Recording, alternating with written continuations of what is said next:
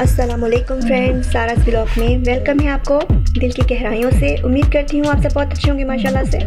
तो आज हम आपके लिए मीठा लेके आए हैं, जो झटपट से तैयार हो जाता है पाँच मिनट में।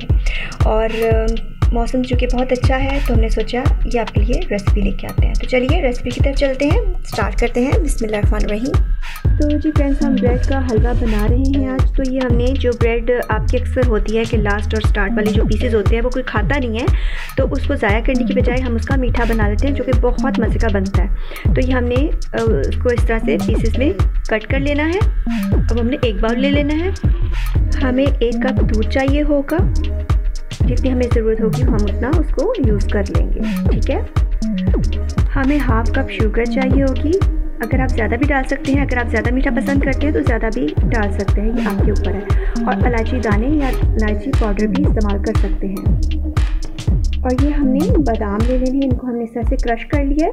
वो हम लास्ट के डेकोरेशन के लिए ऐड करेंगे। तो चलिए हम रेसिपी स्टार्ट करते हैं। इसमें तो जी दोस्तों, हमने एक सॉसपैन हल्की आँच पर रख लिया।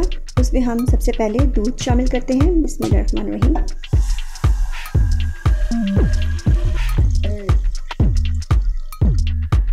दोस्तों, ये हमने हल्की आँच पर।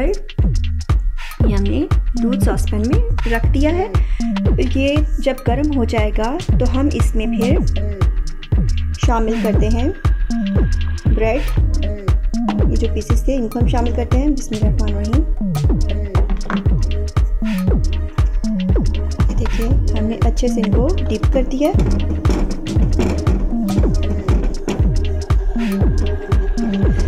इसको एक मिनट के लिए इस तरह से पकाएँगे। जब बॉयल्स आने शुरू हो जाएँगे बबल्स बनना शुरू हो जाएँगे, तब हम इसमें चीनी जो है, वो शामिल करेंगे। चलें, इसमें रही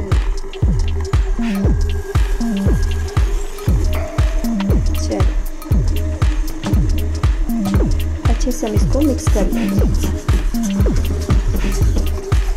पान ज़्यादा तेज़ नहीं करनी, आपने हल्की रखनी है।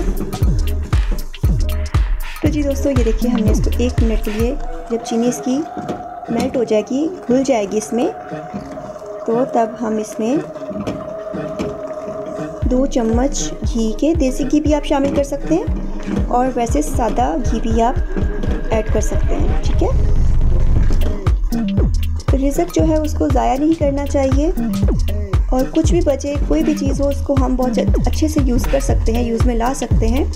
तो क्या है, बहुत मज़े की चीज़ें बन जाती हैं। वेस्ट करने की बजाय आप इस तरह से इनको बना लें तो इससे क्या होता है कि रिजक जो है उसकी भी हरमती नहीं होती है और अल्लाह ताला आपके रिजक में भी इजाफ़ा करते हैं। तो इस वजह से ये मैं अक्सर बनाती हूँ।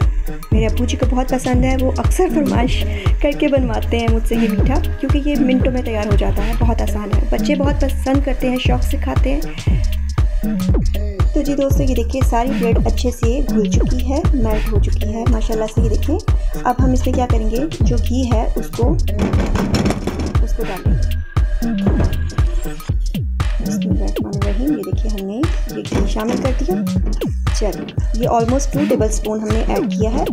अब हम इसको पकाएँगे। ये बिल्कुल खोए की तरह बन जाता है, जैसे आप लाइक यू नो फिरनी खा रहे हैं, इस तरह से बन जाता है, बहुत मज़े का होता है। अब हम इसको एक मिनट के लिए पकाएँगे। ये देखिए, जैसे घी छूटना शुरू हो जाएगा तो मतलब आपकी ये रेसिपी तैयार है। तो ये देखिए दोस्तों, ये हमारा जो है वो ब्रेड का हलवा, माशाल्लाह से तैयार हो चुका है। ये देखिए घी अलग हो गया। अब हम इसको डिश ऑफ़ करते हैं, चलिए। तो दोस्तों हम इसको डिश ऑफ़ करते हैं डिश तैयार हो। गई है रेसिपी आपकी तैयार हो गई है। मीठा। इसे आप गर्म गर्म भी खा सकते हैं और इसको आप ठंडा करके खा सकते हैं। इट्स अप टू यू यहाँ पे है। इसमें से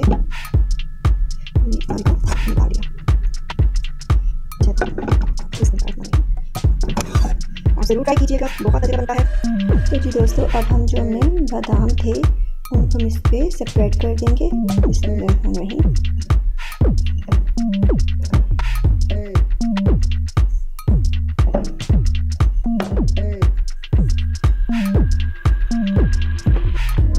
ये देखिए फ्रेंड्स ये हमारा जो है, तैयार हो गया मीठा ब्रेड का मीठा। झटपट तैयार हो गया हमारा। तो उम्मीद करती हूँ आपको पसंद आएगा, ज़रूर ट्राई कीजिएगा। बच्चों को बहुत पसंद आएगा, बड़े बुज़ुर्गों भी, बुज़ुर्गों को भी बहुत पसंद आएगा। तो सारा को इजाज़त दीजिए और लाइक शेयर एंड अच्छा सा कमेंट ज़रूर कीजिएगा, क्योंकि हमें आपके कमेंट्स की और आपकी फ़ीडबैक की बहुत ज़रूरत होती है। और बेल आइकन को प्रेस करना मत भूलिएगा। ताकि आपको टाइम पे वीडियोस जो हैं वो मिल सके। और जो न्यू व्यूवर्स हैं, चाहे तो वो सब्सक्राइब कर सकते हैं और लाइक शेयर एंड कमेंट भी कर सकते हैं। हमें खुशी होगी क्योंकि हमें आपके प्यार की ज़रूरत है। सारा को इजाज़त दीजिए इन जी तो वैसे की दुनिया आपसे सीखी जीना। अल्लाह हाफिज़ पी अमान अल्लाह।